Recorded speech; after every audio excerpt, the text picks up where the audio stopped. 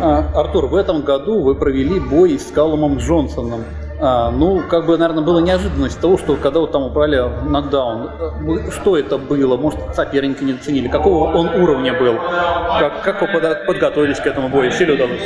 Он хороший боксер, без поражения шел, 17 боев, 17 побед. Э, такой э, бьющий, хороший, да, вот Непростой парень был. Никого, никого не волнует то, что у него было до этого 17 боев. Ни разу он не был ни в нокдауне, не проигрывал бой. Это никого не волнует что-то. Всех волнует, как я там... Ну, это была моя ошибка. Я там изначально полез с ним драться. Так получилось. Я э, допустил эту ошибку. Я когда уже начал с ним боксировать, это э, пошло вроде получше все. А сам как, как оцените своего соперника? Он тяжелый соперник или это случайный там удар?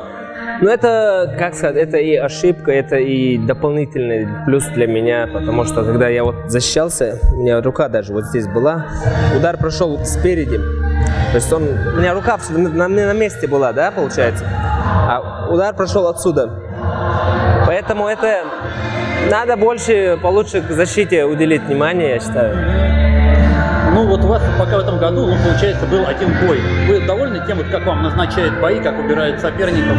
Я надеюсь, сейчас уже почаще у меня будут бои, потому что э, мне, например, в феврале предлагают бой. Там, если мы по контракту договоримся, в феврале будет бой тоже. А с кем? Джо Смитом или с кем-то еще?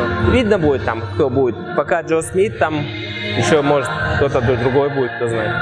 Еще по бою, по, по сопернику, по месту, где будет, не определились. А вот поясните вот ту историю, которая произошла вот, ну, буквально накануне Дмитрия Бивола боя. Ведь он договорился со Смитом, тут это появилось предложение от вашей команды, но в итоге оказалось, что вы не успеете подготовиться. Вот как какая-то такая сумятица произошла? От нашей команды никакого предложения не было. Там я вот не, не вникал в детали, это я не в курсе про это, что там происходило. Ну, Дмитрий просто мне сказал, что вот появилось предложение от, не знаю, команды ваш промоутер, не, и не, вот не, в результате у него соперник ушел. Неправда. В курсе? Нет, это, не, это неправда. Я такого даже не слышал. Угу. А, значит, вот э, следующий бой ориентировочно в феврале. И вот кроме Джо Смита какие-то варианты еще есть? А есть вариант с объединительным боем? Все возможно. Мы, мы, мы открыты. Я открыт к этому тоже. А, видели последние бои чемпионские и Пивола, и Гвоздика? Нет. А кого вы считаете сейчас из чемпионов действующих наиболее опасным?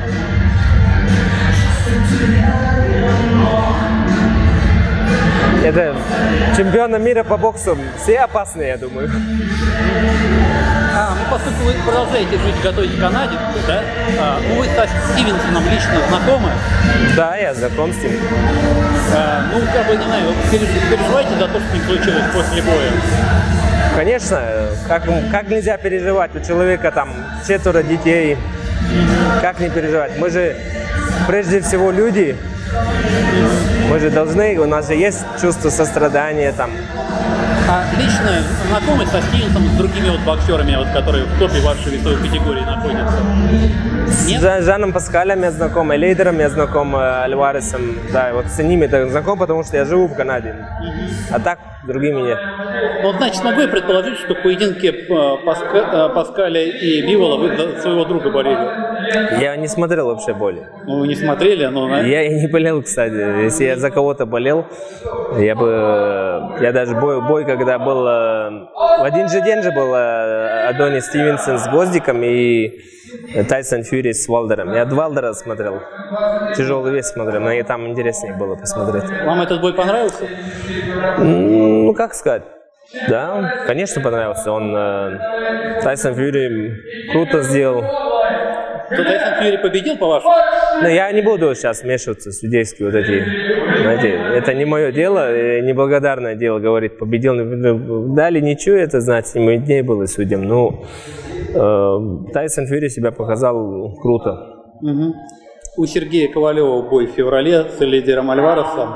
Сейчас, на ваш взгляд, он э, как бы фаворит этого боя или уже у него время прошло? Не знаю, честно сказать. Посмотрим. Недолго осталось ждать, А у вас к посмотрим. нему есть какие-нибудь личные чувства? Ведь все-таки переписка между вами была богатая. Никакой переписки мне не было. Он, я его знаю со сборной. Он меня тоже знает со сборной, да? Да. Какой я человек, он знает, какой он, я тоже знаю. То есть мы все наши качества знаем. Э, Это не значит, что мы там какие-то титулы, там, если выиграли в профессионалах, мы как личности меняемся. У меня э, это потенциальный соперник мне, да, вот в моем весе. То есть всего лишь потенциальный соперник и все, больше ничего. Так, чтобы я его там днями, ночами его видел во сне, нет такого, чтобы хотел побить его, знаете. А вот скажите, вот э, раньше, ведь, когда у него было вот три титула чемпиона мира, он говорил, «Да- давай организуем бой. Вот тогда это была реально ли какая-то возможность? Организовать бой? Да, с ним. Ну, это когда я уже на- ложился на операцию. Вот А. в это время мне, как, пожалуйста, не надо про бой говорить, знаете. Ну, это свои нюансы там были. То есть, э, когда я мог боксировать, здоровье, когда я был, такого предложения не было. Мгм. Ну, получается, в неудачное время поступали предложения, они были. Ну да, свои минусы, плюсы. А теперь он вам без титула не интересен. Не, ну как сказать, э, профессиональный бокс состоит из бокса и шоу, да? Шоу-бизнес, 50 да, это 50. бизнес и бокс, там можно так сказать. Если, конечно, интересные предложения есть, пожалуйста. Мгм.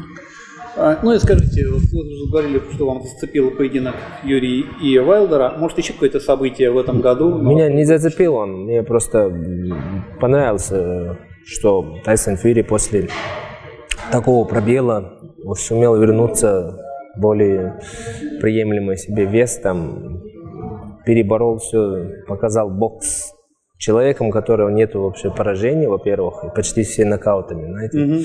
То есть он показал круто, мне кажется, что он сделал, что он сделал. Я его тоже лично знаю, я его знаю еще с 13 года. Мы с ним один раз ужинали или обедали. То есть очень приятный человек, он хороший парень.